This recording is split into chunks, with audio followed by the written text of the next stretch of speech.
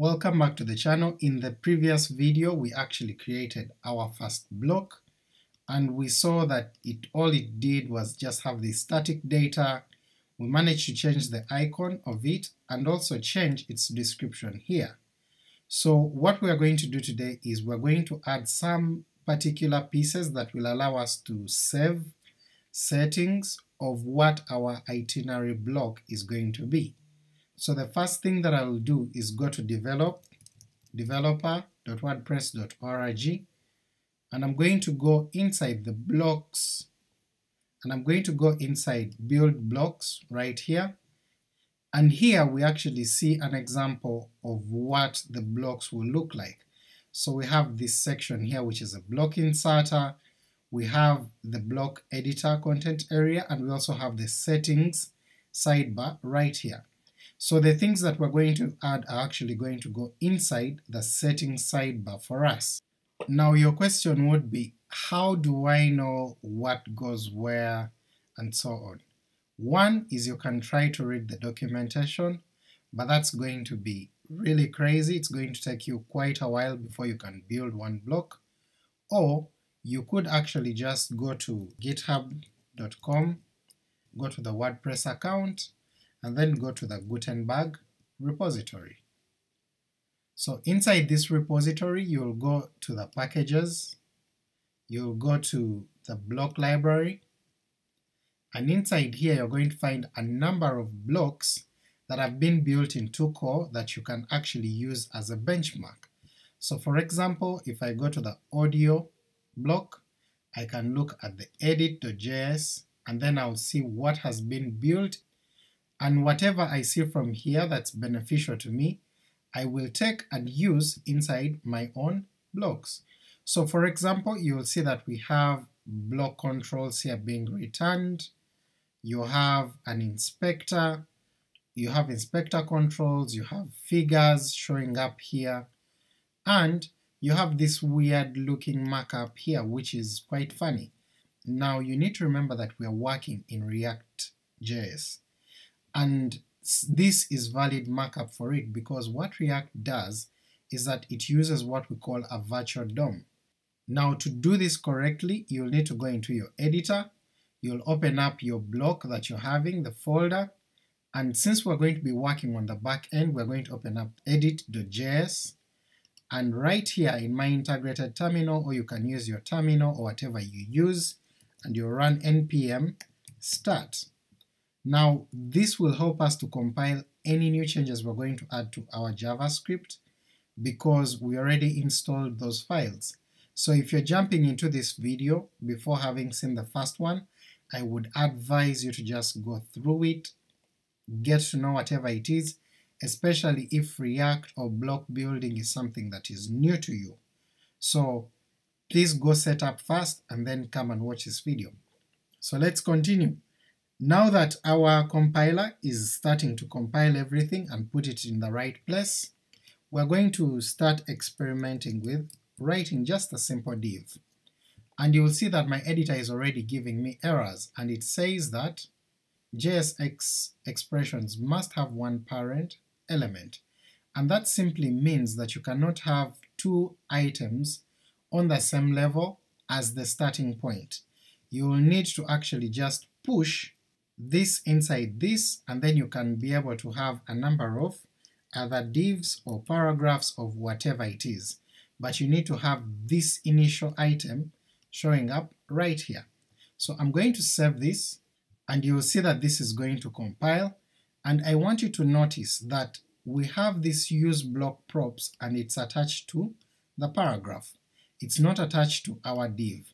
So I'm going to go back inside our editor, I'll reload this, and when I click on this and inspect this particular block, you're going to see that all the parameters, the IDs, the class attributes, tab index and all of that are in the paragraph, they're not in our parent item.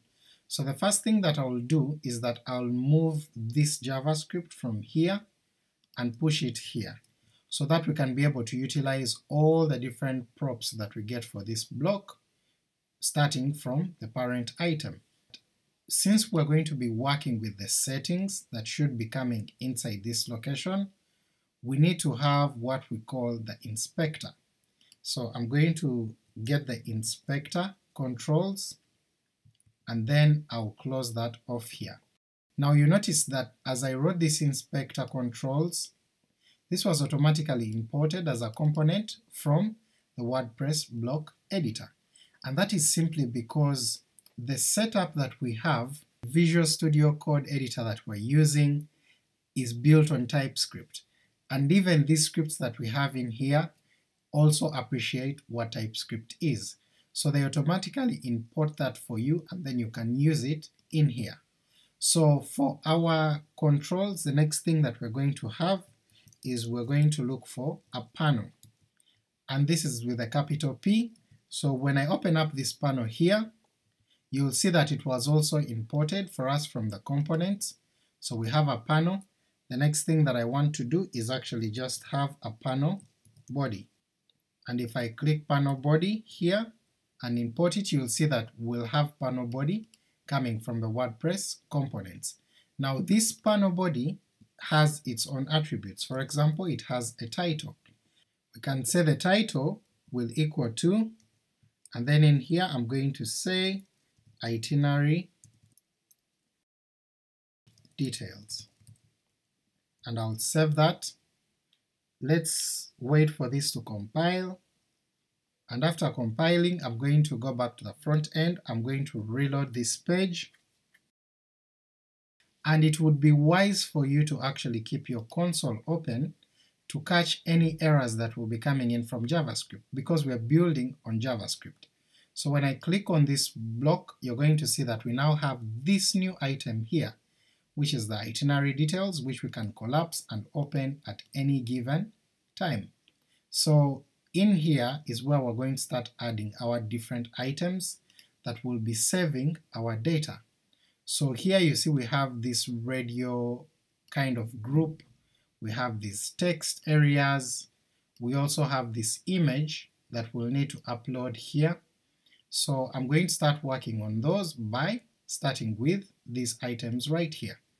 And remember I told you the best way is to always look for things that have something that is similar. So since I don't have anything that looks like that checkbox that I'm looking for, I'm going to go back to the block editor documentation, I'm going to look for check box, and you'll see that we are provided with a checkbox control right here, so I'll click on that, and you'll see that it gives us this option, we see that this is exactly what we want to actually have, so I'll scroll down and I'll look at the sample code that we've been given. So you see that it returns this right here, and it is imported from the components. So I'm going to copy this, I'll come back, add it into our panel body as a checkbox, I'll tap this in to have it properly aligned, and then I'll bring my checkbox control and I'm going to pick it from the components, of WordPress. So I'll save this, and you're going to see that it compiles very well. If I come back here and reload this page, you'll see that this is broken because is checked is not defined.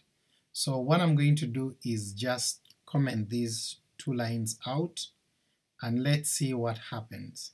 So I'll come back here and reload.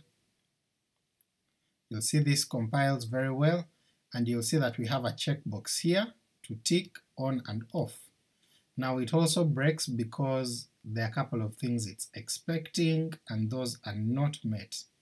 So we'll come back here and we'll see that there are a couple of things it uses a use state which is going to be broken because the way WordPress blocks are working right now, this is not the way to do it. You need to set your attributes inside your block.json and we shall see that when we are trying to save the data. So in order to have a number of these, I'm going to come back into my code. I don't need this help right now, so I'll comment that out as well, and I'm going to change this and say this needs to be breakfast. I'll move this all into one line, I'll remove these other pieces that I don't need, I'll duplicate this over and we'll have our lunch and then we shall have our dinner. So I'll save this. If I come back here and reload, you'll see that if I go to this component we have breakfast, lunch, dinner. If I go to this component equally it also has breakfast, lunch, and dinner. When I tick them you'll see that you actually get errors down here. If I uncheck them we also have the same error showing up right there. Now that we have this, I need to actually make up some of the other items that we need. For example, we're going to need these text areas showing up here, so I'll need to look for a text control, and you'll see we have a text area control inside our documentation, and it will look like this, if we keep scrolling we should be able to find out how it's used, and we have our text area control right here. So I'll copy this, I'll come back here, I'm going to put it just above the breakfast, I'll tab everything in, I'll comment out the on change because that's going to require a function which we don't have yet, I'll remove the help, and then I'll put this also on one line for now because we don't have much to say. I'll save this, I'll give this a label of title because we want to be able to label that title. We also want to have the PM, overnight, AM, so we're going to have those duplicated. So we'll have AM, we'll have PM, we'll also have overnight, that's what we're going to need for now because we have the same thing here. I'll save this, I'll come back here, in my front end I'll reload this. We see this is broken and it's telling us the text control area is not defined, so we forgot to actually bring that in through our components. So I'll pass that, I'll save this,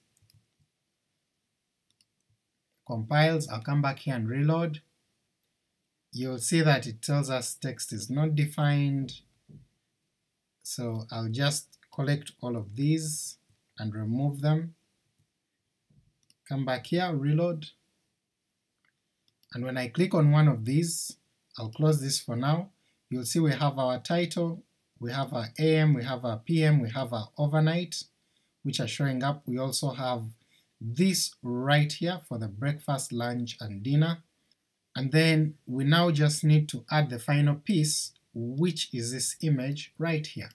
Now if you remember this file, we saw something like media placeholder, so we're going to copy this, and we are actually going to use it inside our block. So I'm going to come back here, and I'm going to open up and say media changes to media placeholder, I'll close this, this should be self-closing as a component, I'll remove this media upload because we don't need that for now, I'll save, I'll reload right here on the front end, this is not broken, and you'll see that we have this clickable item that when we click it will show us to either go on our computer, or if we click the media library, we can actually pick something from the media library. This is not the best way to have this. If you look at other things like um, an image block and add it, you'll see it has this image showing up in this area, it's not on the side. So it's not a setting per se, so I'm going to have to move this and then put it as part of our block this side. So I'm going to come here and pick the media placeholder, cut it, and then I'm going to come and put it in our new div that we have here. So I'll remove this paragraph, this will be our div, and inside here I'll put our media placeholder, I'll save this, I'll come back here, I'll give this a reload, and you'll now see that we have this being enveloped and it looks much nicer. When we click on it, we can be able to pick a logo or whatever we need to have, or we can pick from our media library something like this and add it. we're going to need to have different sections that can actually contain the item and do the rest of the other stuff. So this works sort of like what we want to have. So in the next video we shall be adding the settings for each one of these fields, we shall be able to see how to upload our image and put it in our block, and then finally save everything so that it's working. If you enjoyed this video, don't forget to give it a thumbs up, share it with your friends, let them know what's happening on the channel, don't forget to subscribe if you're new here and you want to see WooCommerce and nice WordPress tutorials with other plugins, but most importantly, enjoy whatever you're developing. Otherwise, cheers!